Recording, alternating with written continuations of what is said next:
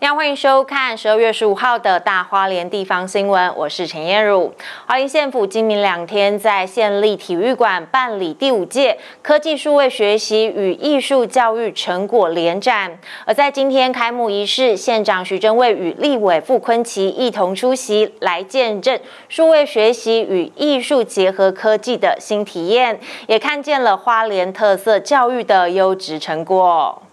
现代学表示，在产业高速发展以及传媒浪潮之下，透过数位科技应用在教育中，将最先进的知识技术与教育现场结合，让学生们相亲不断学习，提高自己的竞争力。数位科技 AI 能够让教育现场跟我们的业界合作，让业界在最专精而且最先进的我们的知识以及载具，能够结合到教育现场来。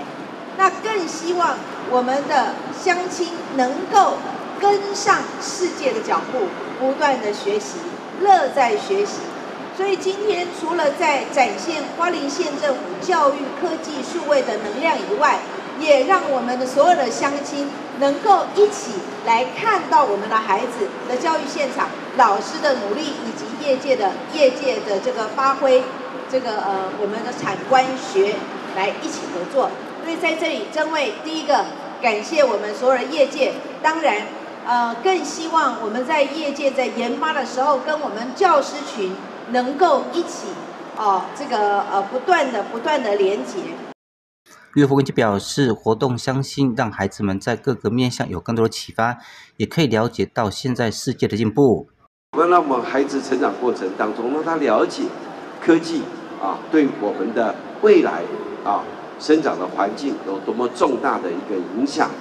而且我想今天呢，很难能可贵，就是能够并行不悖是很困难的。现在今天是把我们的 AI、我们的科技、我们的数位，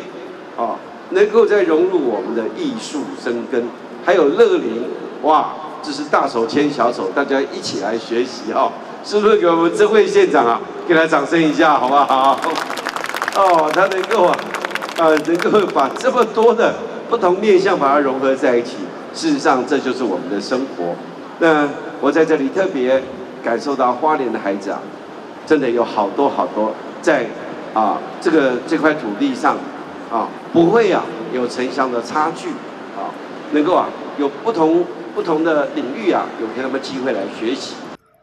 教授表示，花莲县政府从一百零八年开始办理科技以及艺术教育成果展，至今已经迈入第五届了。一年一度的盛事屡次创造爆量人潮，将成为县内最具规模的成果展。除了提供民众了解县内推动跨融合的交易成效，并且借由嘉年华的形式，让师生们建立参与、体验到产生认同的历程。